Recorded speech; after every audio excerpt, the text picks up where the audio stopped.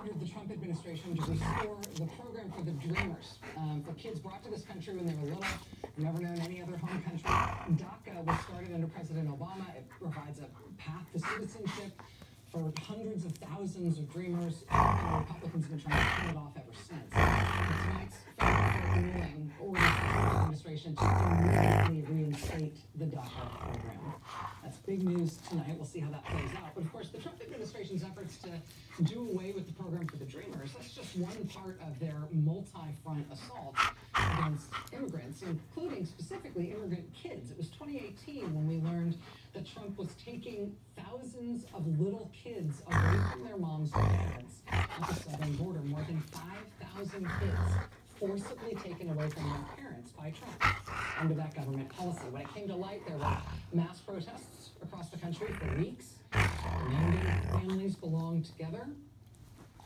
Trump administration said they would end the program.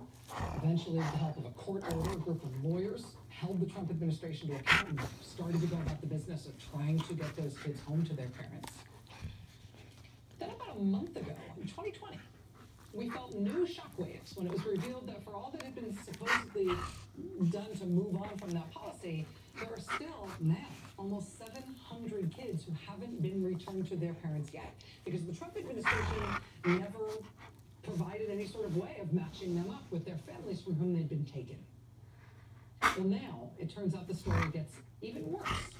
Turns out that even while the Trump administration was telling a federal judge that providing information to help reunite these kids with their parents was too onerous for the administration, it turns out that all along they have a whole bunch of extra identifying information that could help match up the kids with their moms and dads.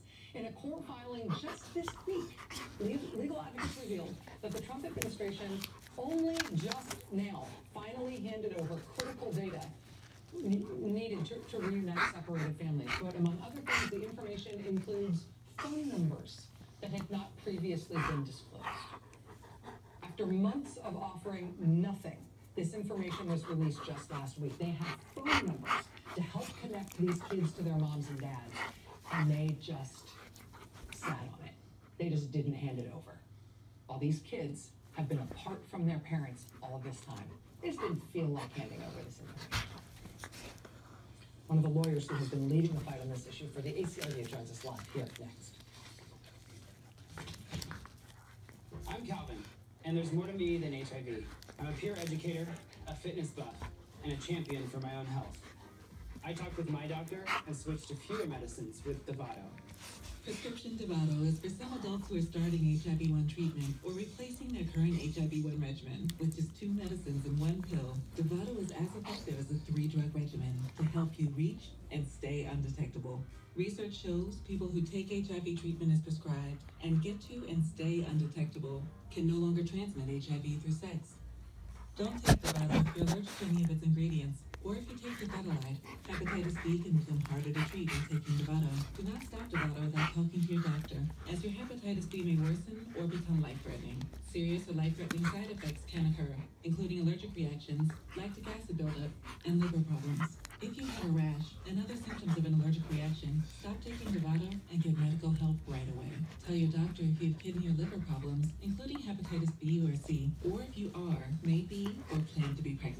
Your doctor may prescribe a different medicine than Dovato if you plan to be pregnant or if pregnancy is confirmed during the first trimester. Dovato may harm your unborn baby. Use effective birth control while taking Dovato.